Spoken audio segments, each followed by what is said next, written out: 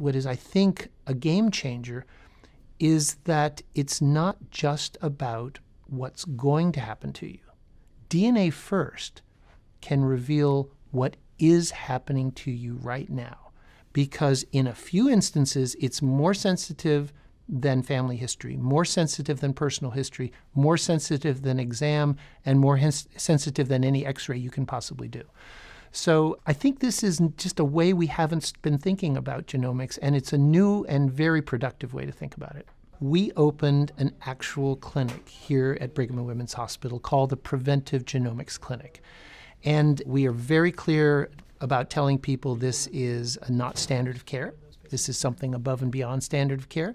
Uh, but we're going to try to do a responsible job of sequencing your entire genome and giving you back absolutely everything we can give you back that we think has any medical implication that's valid.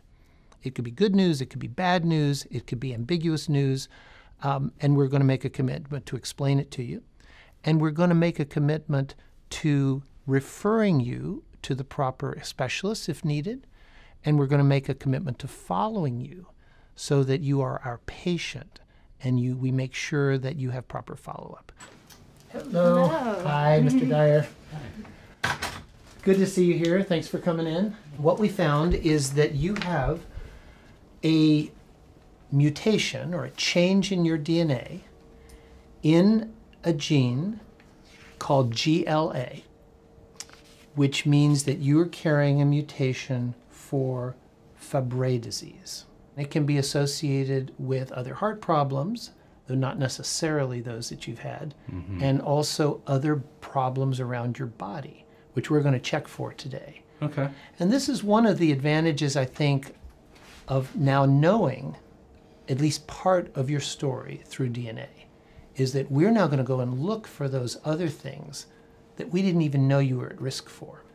Look, we all give lip service to the notion that we want a healthcare system that prevents disease. We don't want one that just waits till you have disease and then cuts you open or tries to give you radiation or pills with side effects.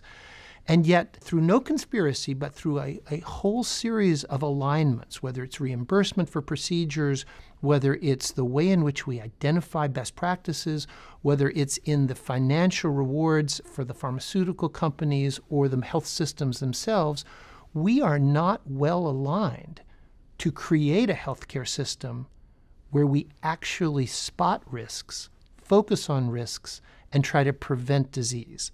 And when you go to 23andMe and you get back a product, it also forces you to ask, why isn't my doctor encouraging me to get something like this for my own health? And I respect the hell out of that. I think that is a huge contribution above and beyond the science and the debates about the science.